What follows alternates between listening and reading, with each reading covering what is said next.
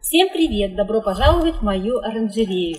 Сегодня мое видео будет о глоксинии. Посмотрите, два букета. Просто обалдеть.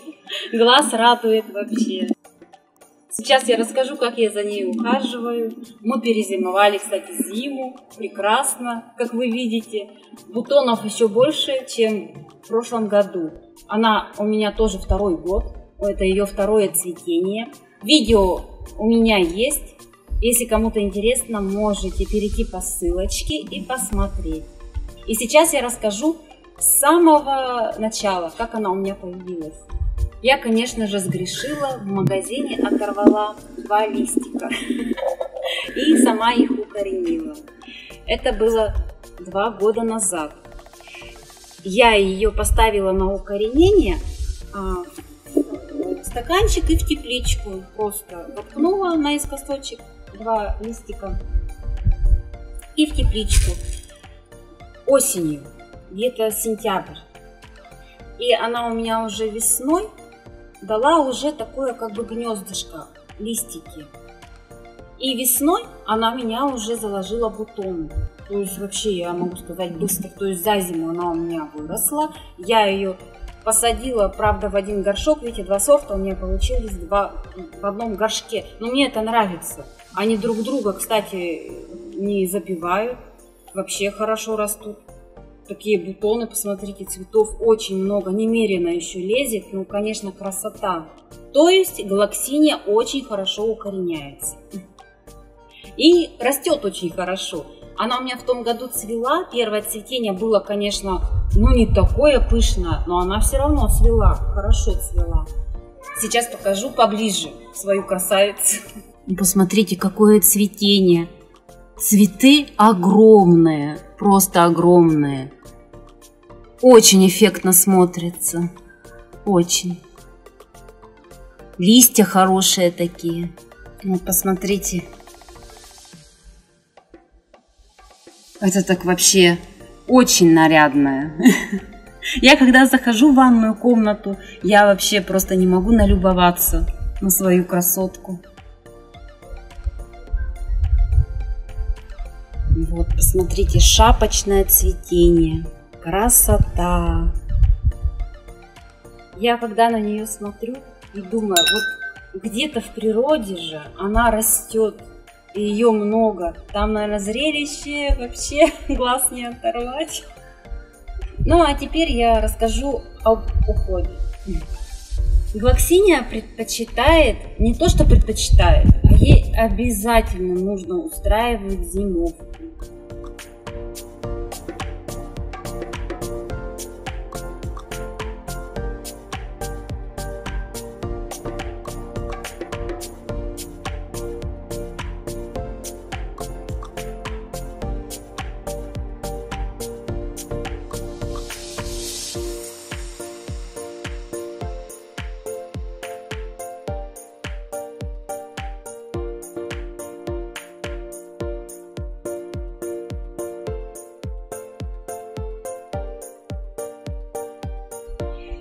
У нее э, система корней клубневая, там имеются картошинки. И когда осенью она отцветает уже, по ней видно просто, вот она начинает такая скукоживаться, как-то вот не очень себя чувствует. Даже если она это вида не подает, ее все равно нужно обрезать в ноябре. В ноябре я ее обрез, обрезаю под самую этот, по землю прям. Остаются только картошины. И все, полью ее и убрала. Она у меня зимовала в спальне, в шкафу, на полу прям там темное место. И там как-то прохладно. Ну, конечно, у нас раз э, свой дом, наверное, проще. А если у кого квартира, то можно, если в ванной вот есть там вот место да, убрать куда-то вот в угол. И, конечно, не забывать поливать по чуть-чуть, раз в месяц хотя бы ее полить. А в феврале я ее просто достала, поставила на окно, и все, и она сразу принялась в рост, солнышко уже стало на нее попадать, и она у меня стала расти. И, как вы видите, на 9 мая вот такие букеты. галаксиния, ну, я не знаю, может быть, конечно, и в обычных горшках. Ну, мне нравятся керамические. Вот я, наверное, их так потом пересажу, чуть больше горшок. Но это будет уже на следующий год. Когда я ее с зимовки достану, пересажу в горшочек и оставлю их, наверное, так и расти. Два сорта в одном горшке. Очень красиво смотрится. Горшки нужно брать невысокие, плоские. Если горшок высокий, то, конечно, его лучше наполнять керамзитом побольше. Но вообще горшки же продаются и такие низкие, так что ей лучше широкий плоский горшок для ее картошин. Это лучше. И с поливом. Поливаю я ее каждое утро теплой водичкой в поддон. И это каждый день.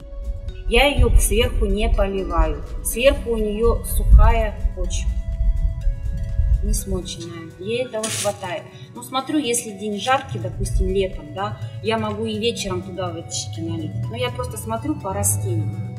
А здесь я проснулась, а, подхожу к растению, смотрю, у меня вот этот вот букет завалился, представляете, упал.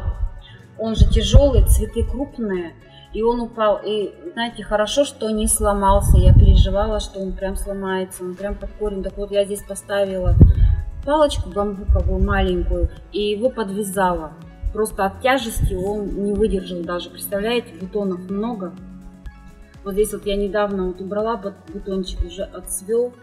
Для глоксинии, конечно, это место на подоконнике. Конечно же, светлое, но от прямых солнечных лучей ее нужно немножко притенять. Вот у меня просто растения там стоят еще на окне, и она здесь вот стоит, ее немножко как бы притеняет.